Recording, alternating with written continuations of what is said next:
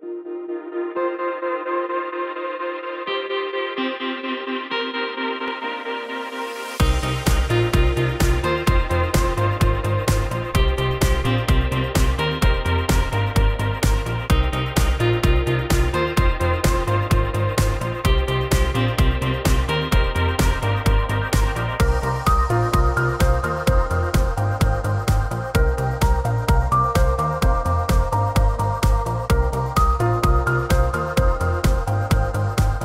Kollektionsthema ist Perspektive. Da geht es äh, kurz gefasst eigentlich darum, dass es ja ähm, im Augenblick äh, viele Probleme gibt.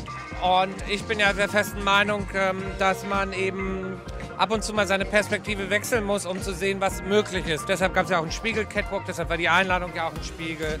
Ähm, und ähm, eigentlich, um es noch knapper zu fassen, gibt es ja immer eine Diskussion, ist das Glas halb voll oder ist das Glas halb leer? Und für mich ist das Glas eben halb voll.